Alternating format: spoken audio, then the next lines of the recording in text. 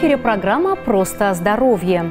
Важную роль в организме человека играет кровь.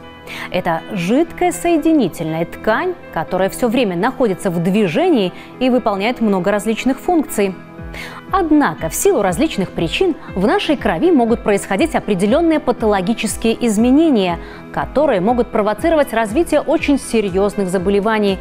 Для устранения данных проблем применяются различные методы очищения и лечения крови. О некоторых из них и поговорим в сегодняшней программе.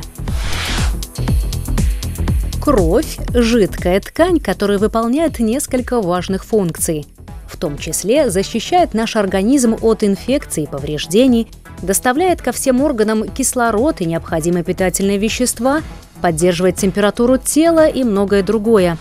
В то же время все патологические процессы в нашем организме получают отражение в крови.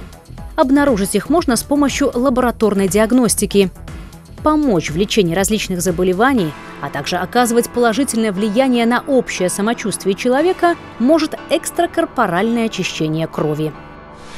Наше отделение – одно из отделений больницы скорой медицинской помощи, которое работает уже достаточно давно. Это одно из отделений, которые вводились в первую очередь – то есть это случилось в прошлом веке, в 1994 году. То есть осенью этого года исполняется 30 лет с момента работы отделения. За это время мы прошли определенный путь, совершенствовалась техника, методики лечения и так далее. Э, наше отделение называется очень сложно. Э, отделение экстракорпоральных методов детоксикации и гемодиализа. Что это значит по-простому? Любимая латынь – экстракорпорис, вне тела. То есть э, наше отделение занимается различными методами очищения крови вне организма. От более простых до самых сложных. И э, в арсенале нашего отделения ну, мы делаем практически весь общедоступный спектр процедур. Как следует из этого сложного названия, отделение экстракорпоральных методов детоксикации гемодиализа выполняет несколько важных задач. У нас находятся пациенты на хроническом программном гемодиализе Октябрьского района города Гродно. Это одна из задач отделения, то есть люди, которые имеют различные какие-то заболевания почек, другие причины системные, которые э, привели к, уже к тяжелой степени почечной недостаточности, терминальной, когда уже все консервативные методы лечения, их возможности исчерпаны, тогда остается э, э, только методы почечно-заместительной терапии, одним из которых является гемодиализ. Вторая задача данного отделения – оказание плановой и экстренной помощи по экстракорпоральной детоксикации населению города Гродно и Гродненского района. На базе нашего отделения еще есть отделение токсикологии, острых отравлений и все тяжелые отравления с области, которые требуют э, какой-то заместительной терапии, э, в том числе э, с использованием наших методов лечения – попадают и концентрируются э, в нашей больнице. Э, среди этих методов можно выделить такие направления, как острый гемодиализ, гемосорбция на различных видах сорбентов, плазмоферез и продленные э, заместительные методы лечения на сложной аппаратуре. В основном, конечно, что-то более серьезное, сложное – это контингент в начале пациента отделения реанимации, потом они долечиваются э, в профильных учреждениях и при необходимости им продолжается оказываться помощь. Вот это основные задачи отделения. Экстракорпоральные методы детоксикации включают в себя как квантовую фотомодификацию крови, так и другие методы очищения крови. Среди квантовой фотомодификации выделяют внутривенную лазерную обработку крови, сокращенно ВЛОК, и ультрафиолетовое облучение крови, УФОК. Зачастую люди пугаются слова «облучение», Однако эти методы не имеют ничего общего с рентгеновским облучением при онкологии.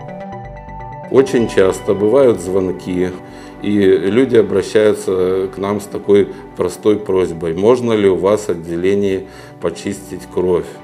Да, можно, но опять же, это более касается э, вот этих методов квантовой фотомодификации крови. В том числе мы берем э, амбулаторных пациентов э, для э, обслуживания на платной основе. Цены доступные. То есть человек приезжает в больницу на 30-40 минут. После процедуры ему накладывают на руку повязку, и он может уходить домой. Госпитализация не требуется. Единственное, что минимальный курс надо провести хотя бы 5 процедур. И достаточно многим людям помогает. Уже есть люди, которые ходят к нам на постоянной основе. Эти процедуры достаточно проводить не чаще двух раз э, в год э, с интервалом полгода. Многим хватает э, курса проводить один раз в год, чтобы каким-то образом решить свои медицинские проблемы, профилактические, укрепить здоровье, что-то перевести в состояние ремиссии, которое больше или меньший промежуток времени. Пациентов амбулаторных мы берем в первой половине дня в утреннее время.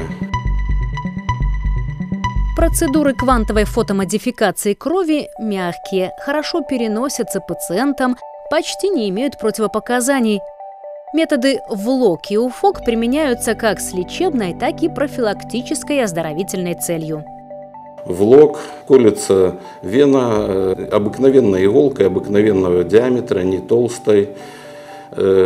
В просвет вены вводится одноразовый световод и производится воздействие непосредственно на кровь низкоинтенсивным лазером, в основном э, красным. И человек лежит подключен к аппарату, чистое время по таймеру составляет 20 э, минут. Э, в результате сложных фотобиологических, фотохимических реакций происходит полезное действие. И основные эффекты, то есть спектр применения очень широкий, противопоказаний э, ну, очень мало, почти их нету. Э, процедура, как мы говорим, самая такая из нашей э, всего спектра, самая легкая, переносится комфортно, безболезненно, только момент, что нужно колоть вену, вот и все, не вызывает никаких неприятных ощущений, побочных ощущений и так далее. УФОК – метод, основанный на лечебном действии ультрафиолетовых лучей на клетки крови. Для его выполнения нужны более хорошие вены, чем для ВЛОК. Оба эти метода облучения крови используются в лечении целого ряда заболеваний. Основные действия процедуры улучшаются э, кровообращение, кровоснабжение, микроциркуляция, в том числе пораженных органов и тканей – уменьшается вязкость крови, за счет этого тоже улучшается перфузия, уменьшается гипоксия со всеми полезными эффектами. И плюс немаловажное действие при различных острых и хронических воспалительных заболеваниях, аллергии определенных вещах, то есть противовоспалительное и иммуностимулирующее действие. То есть Ничего в этой жизни универсального нету, но эффективность этих методов достаточно э, хорошая. При определенных вещах достигает 70-80% э, ремиссия, улучшения. Возрастных ограничений для проведения квантовой фотомодификации крови практически нет. У людей пожилого возраста учитывается состояние их здоровья и имеющиеся хронические заболевания – Юным пациентам данные процедуры выполняют на базе детской больницы. Но это не панацея, нету никакой чудо-таблетки, чудо-процедуры, которые щелкнешь пальцами, и все проблемы решатся. Чего хотя, хотят иногда от нас наши пациенты. То есть э, всегда будет консультация, расспрос, э, медицинская документация, обследование и так далее, и будет приниматься какое-то решение о том, что, каким образом и как делать.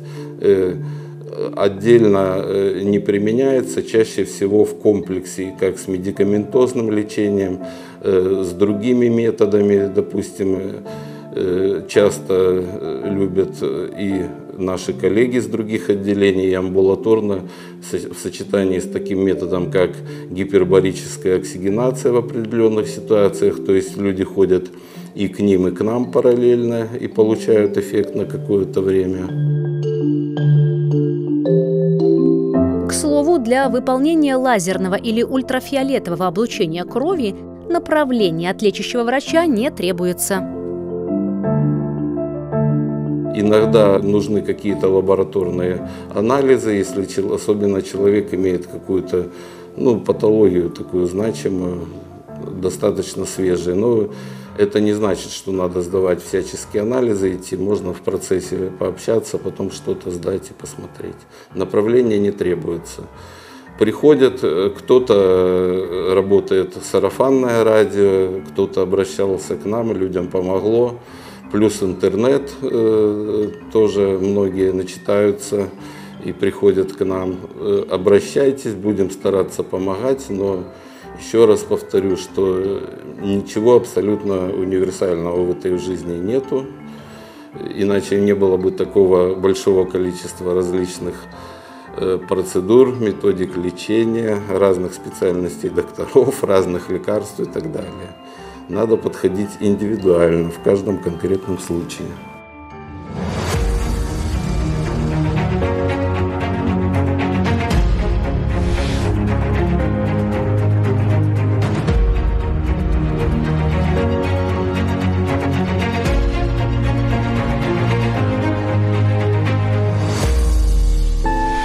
В отделении также проводится гемодиализ. Говоря простым языком, это означает искусственная почка.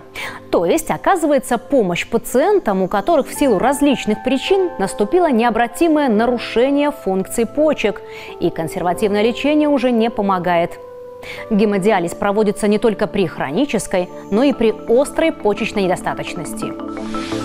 Мы находимся э, в одном из э, диализных залов нашего отделения, которых у нас два, и э, идет процедура э, гемодиализа у пациентов, находящихся на хроническом программном гемодиализе.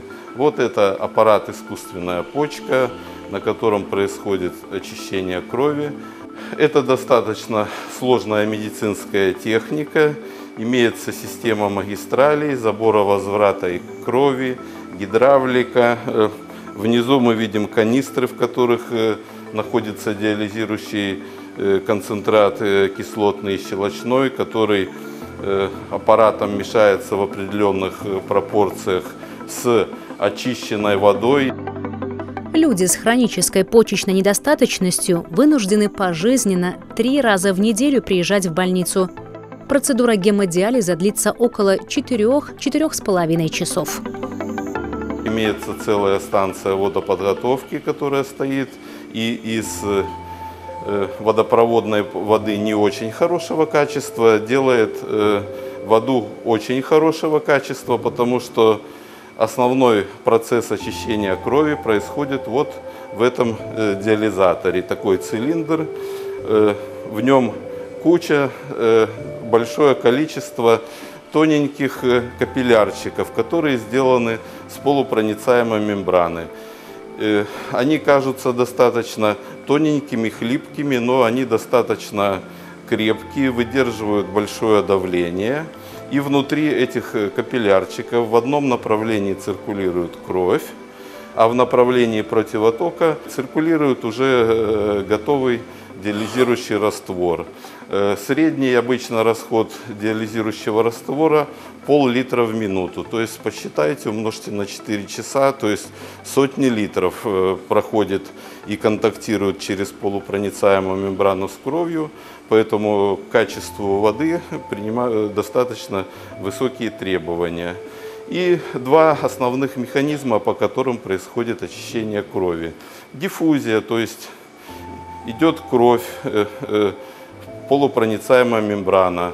С той стороны, где концентрация больше, э, переходит туда, где концентрация меньше и идет на слив канализацию. Точно так же по градиенту давления убирается через полупроницаемую мембрану, удаляются избытки жидкости. То есть основные задачи это убираются в основном низкомолекулярные вещества, электролиты и избыток воды. И это позволяет пациентам э, продлить жизнь э, с достаточно ну, приемлемым качеством этой жизни. Для проведения гемодиализа в отделении имеются три аппарата высокого класса. Вот вы видите, что здесь большее количество насосов, 2 или 3, то есть отличается. Немножко отличается диализатор. То есть это высокопроницаемый, высокопоточный диализатор. На этом аппарате можно проводить такую процедуру, которая называется гемодиафильтрация. Э, смысл этой процедуры, что из нестерильного диализирующего раствора Э, сзади в аппарате стоят два специальных фильтра, которые рассчитаны на определенное количество процедур. Делаются для возмещения раствор, который подается непосредственно в кровоток. И с помощью этой процедуры удается э, удалить более э, высокомолекулярные вещества в более высокого спектра. То есть ее эффективность считается выше. То есть аппараты чуть с большими возможностями и функциями. Для проведения одной процедуры гемодиализа необходимо более сотни литров специально подготовленной воды.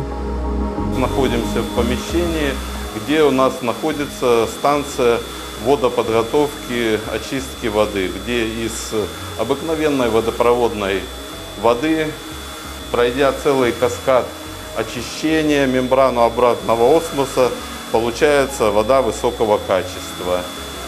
Мы имеем также резервуары, это бочка для э, обыкновенной водопроводной воды, или как мы ее называем, грязной воды, а далее там э, в другом э, э, конце помещения находится бочка для очищенной воды.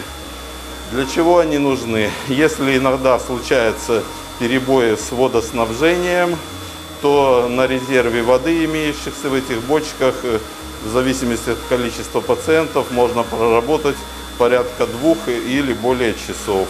Это дает возможность за это время устранить возможную аварию или принять, если уже совсем ситуация не меняется, решение о досрочном отключении. Мы имеем запас времени. Эти резервуары по полтонны, по 500 литров. Альтернативой заместительной почечной терапии или гемодиализа является пересадка донорской почки. Трансплантация – это лучший вариант для пациента. Среди пациентов, кто попадает на хрониодиализ, во-первых, это дает им какой-то промежуток жизни и достаточно уже неплохое качество жизни, учитывая современную аппаратуру, современные препараты. И среди пациентов, находящихся на хрониодиализе, проводится достаточно большое обследование и выбирается группа, которые могут находиться в листе ожидания почки. И э, так, допустим, немножко статистики. Из пациентов, находящихся на хрониодиализе, у нас за прошлый год произведено 8 трансплантаций почки. Это э, достаточно хорошие, серьезные, большие цифры за э, период вот этого, этого года на настоящий момент произведено две трансплантации почки. То есть люди на какое-то время достаточно длительное сходят с гемодиализа, лучше качество жизни, лучшая мобильность, подвижность, не привязан к этим процедурам, которые ты должен проходить и прочее, и прочее. Ежегодно в отделении экстракорпоральных методов детоксикации гемодиализа больницы скорой медицинской помощи города Гродно проводится в среднем около пяти с половиной тысяч программного гемодиализа и около полутора тысяч остальных процедур – УФОК, ВЛОК, гемосорбции, плазмофереза и других. Эти методы являются достаточно востребованными среди населения.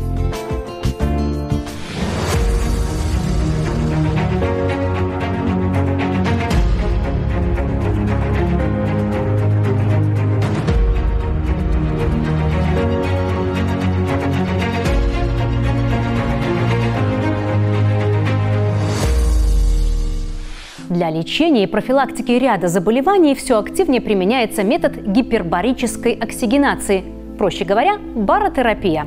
Здесь лечение проводится природным лекарством, чистым медицинским кислородом под давлением.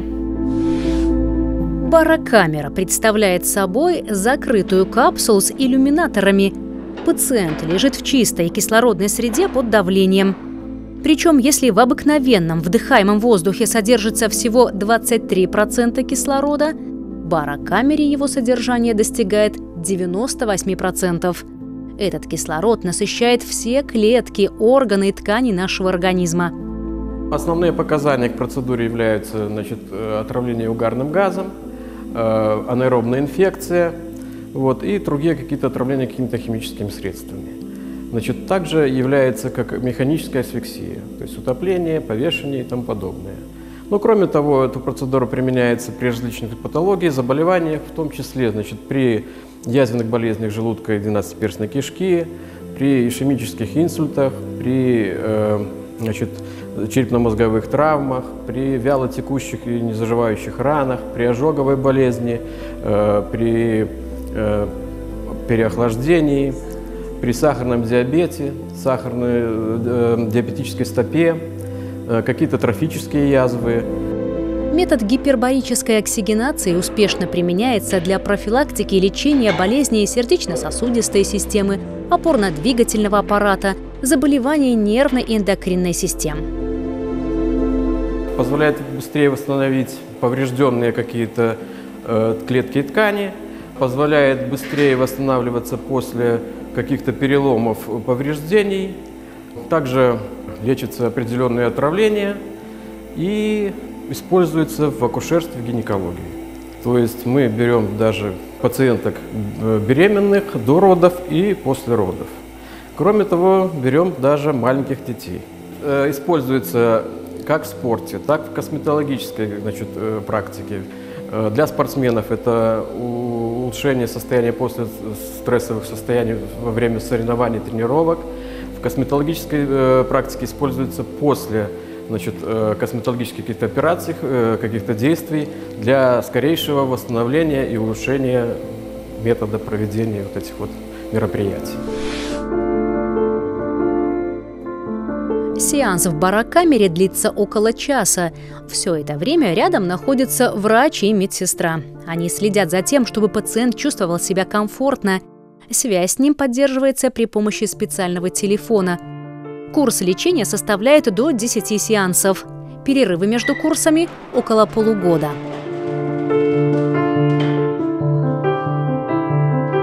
Противопоказания, значит, здесь нет абсолютных, есть только относительные противопоказания. Значит, противопоказания э, являются то, что это непроходимость евстахиевых труб, слуховых труб. Э, почему? Потому что повышенное давление действует на барабанную перепонку. Если они непроходимы, значит, возможно травма барабанной перепонки. Значит, второе показание – наличие полостей в легких каких-то. Э, повышенное давление вызывает их, конечно, деформацию. Э, значит, э, следующее противопоказание.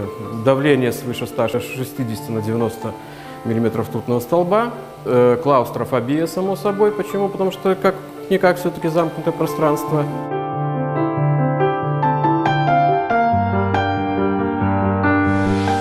Гипербарическая оксигенация и различные методы очищения крови успешно применяются для лечения пациентов практически всех отделений, которые имеются в больнице скорой медицинской помощи Гродно. Все активнее этими услугами пользуются и обычные жители города.